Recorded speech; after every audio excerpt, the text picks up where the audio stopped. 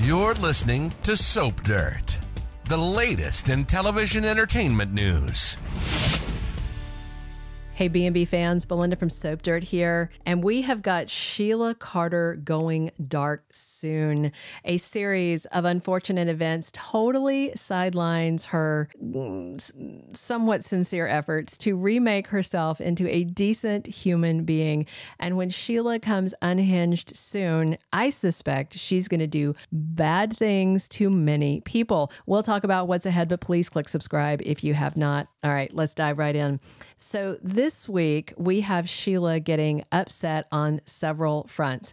As the week began, you saw Hope Logan dropping by Il Giardino to see her dad, Deacon Sharpe. And Hope really unloaded on Daddy Deacon and told him he needs to get Sheila Carter out of his life once and for all. Hope reminded Deacon he cannot see her or the grandkids as long as he is still with Sheila.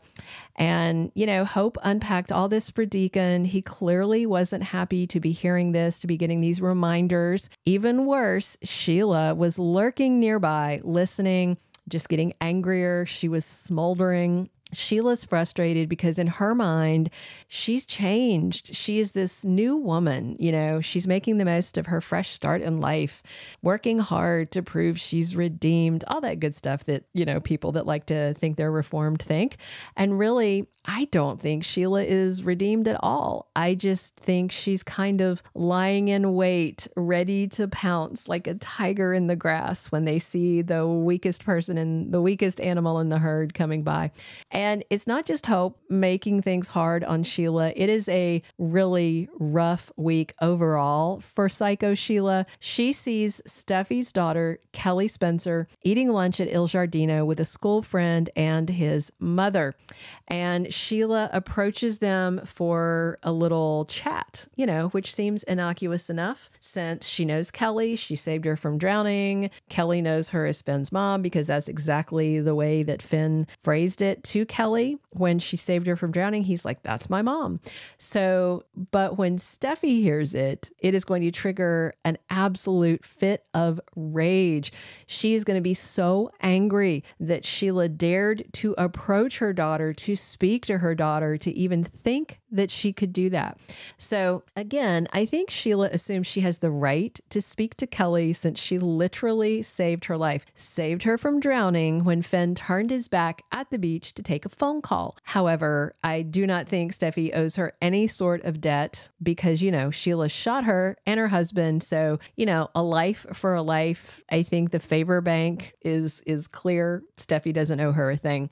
So, yeah, when Steffy comes at Sheila with violence on her mind, you really, really can't blame her, right? Steffy confronts Sheila for daring to approach her daughter. They get into a physical brawl. Steffy does start it by putting her hands on Sheila, but then her mother in law is going to go completely ham on her.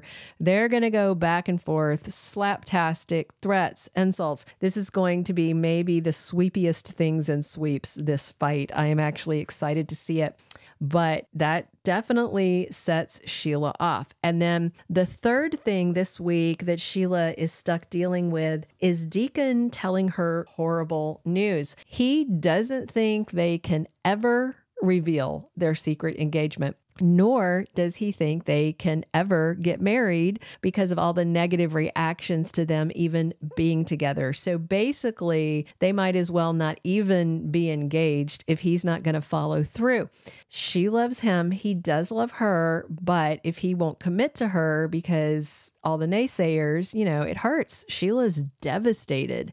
So I'm also certain that the conversation from um, with Sheila and Steffy is going to include her daughter in law telling her again, You will never be in our lives. You will never be in Hayes' life. You will never be in Finn's life. You won't be in my life. You won't be in Kelly's life. You are not family. You do not exist to us. Don't ever speak to us again. That's the kind of thing I'm expecting. And I'm certain Steffy slaps Sheila with an ultimatum of never come near any of us again or you'll live to regret it, and then literally slaps her as well with her hand and with an ultimatum.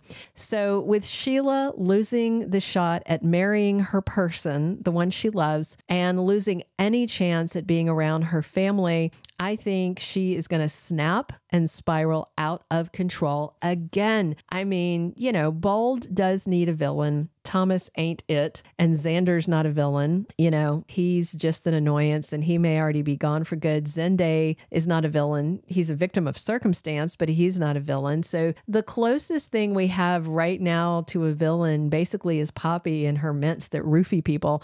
So I do think Sheila's going to go dark again. And I've got a little list of things that I think she might do when she stops trying to pretend she's turned into a good person and just goes into a full backslide into her old violent, villainous ways. Let's talk about it. The first thing, I think Sheila might attack Hope and pay her back for ruining her relationship. We know in the past, you know, Sheila Carter has engaged in kidnapping, hostage taking, gun violence, and all manner of physically violent escapades, even death by bees. Do you remember when Sheila took the entire Forrester family hostage at gunpoint? I do.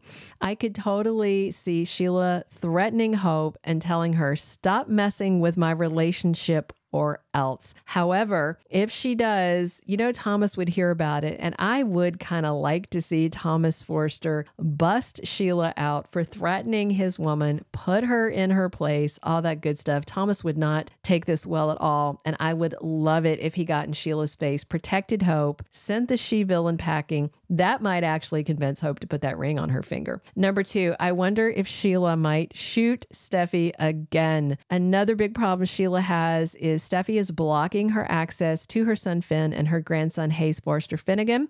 If Steffy weren't in the way, you know, Sheila might think that she could have a relationship with with her and Finn, this loving, perfect relationship, if not for Steffy.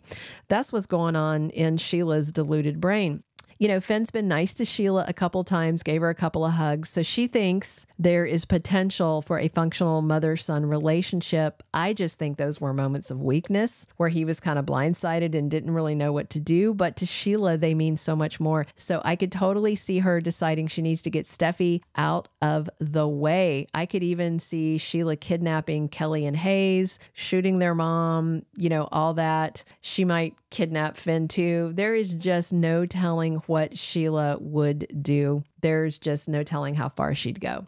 My third and final thing that I want you to think about is that Sheila might threaten Deacon. I mean, I do think Sheila might target Deacon Sharpe even though she loves him and wants to be with him, he is letting people get in the way of their love. And that's a problem for her. Deacon proved to her before how much he cared about her when he got his judge friend to get her out of prison.